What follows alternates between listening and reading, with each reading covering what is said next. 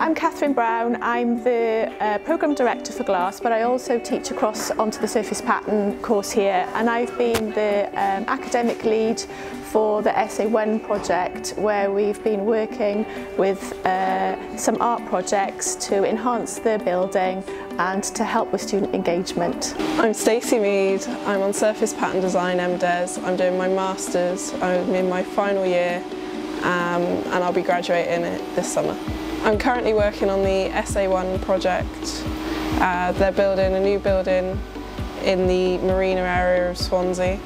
Um, I'm working in the library creating a glass balustrade so it's going to be sandblasted with my design so everyone can see it. Not only is it great to see my work in a building and actually for its purpose, but working on a live brief has allowed me to interact with industry and um, do things that normally a student wouldn't be able to do. I'm Jess Hill and I study surface pattern design in Swansea UWTSD.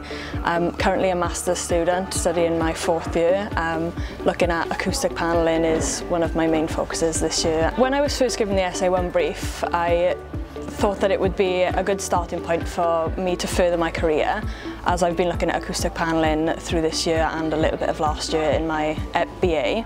Looking through the brief, um, I saw that they look they were looking for um, a theme of connectivity and bringing students together in the library space, which is where the brief was meant for. Taking that along with colour palettes that they gave, I designed a design with flow and a bit of meaning behind it. I'm Abby Jocelyn and I'm a master's student at UWTSD on Surface Pattern. So I'm originally from Swansea and um, my family are sort of uh, Welsh, they've got, got a Welsh background, so they, they are sort of fluent Welsh. So I wanted to incorporate that within my design. So I originally started looking at sort of Welsh blankets and um, that sort of area and then I sort of looked at the courses that were down there, so the motherboards and that or things like that and then connected them that way as the connectivity. connectivity. Yeah. Um, my name's Corey Beth and I'm on Surface Pattern Design in Swansea and I'm a third year student.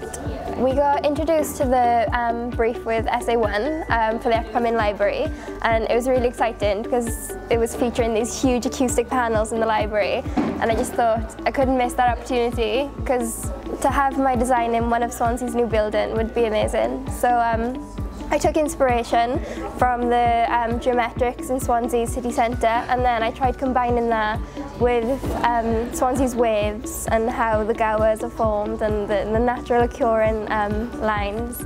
Well, it's just given them a um, live experience in working um, with architects, with interior designers, to understand um, how their design work is visually communicated to a group of people within um, that kind of context